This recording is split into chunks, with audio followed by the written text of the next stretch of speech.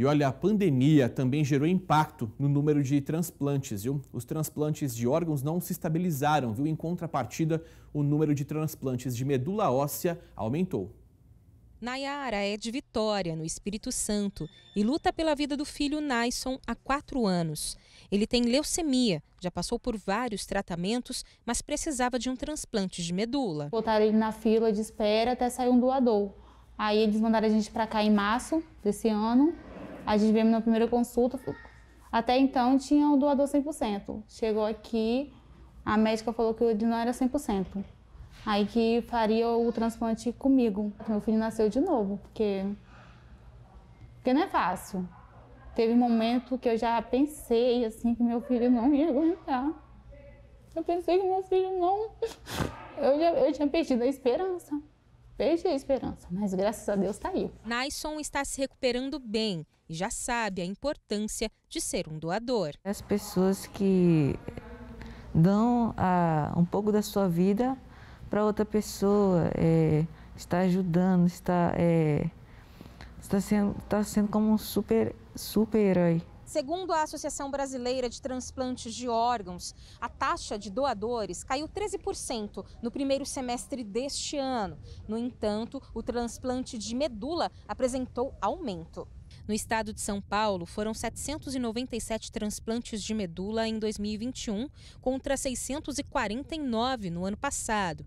No Hospital de Base de Rio Preto, até agora esse tipo de transplante superou os realizados antes da pandemia.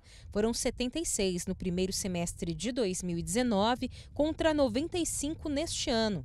Segundo o coordenador do Serviço de Transplantes de Medula Óssea do HB, o que atrapalhou a doação foi o risco de contaminação que a pandemia trouxe. A gente não poderia é, fazer com que um doador saudável saísse de casa desnecessariamente. Então, cada centro se readecou de maneira logística para que houvesse um aumento prioritário de transplantes apolidênticos, que são aqueles transplantes em que você tem um familiar é, que é 50% compatível.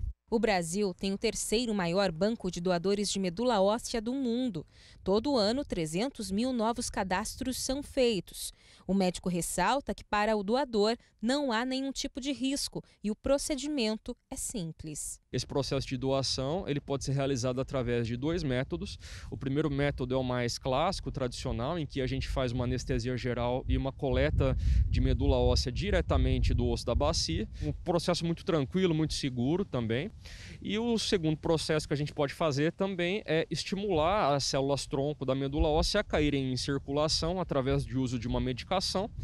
Uh, o doador ele utiliza essa medicação durante quatro dias e no quinto dia, através de uma máquina, a gente consegue retirar essas células pela veia. Solange sempre foi doadora, primeiro de sangue, depois medula óssea e já avisou os filhos que deseja ser doadora de órgãos também. Quando você doa uma bolsa de sangue, que para você não vai fazer tanta diferença, são cinco pessoas que estão lá sofrendo. E a doação de medula, é, é, eu acho que tem muito, é, vamos dizer assim, muita coisa, muito medo das pessoas doarem. Esse medo eu acho que é falta de informação, sabe? Na casa, além dela, o marido e os filhos também foram influenciados pela mãe. É a solidariedade, né? A gente só vai saber que a gente precisa disso quando a gente mesmo precisar quando alguém da nossa família precisar. Então, nessa hora, todo mundo fica desesperado para ter. E quando você já faz isso, né, normalmente é aquela coisa, não dói, é tranquilo, né? A gente até brinca que tem um cafezinho depois que eles dão, mas é uma coisa, é uma sensação muito boa.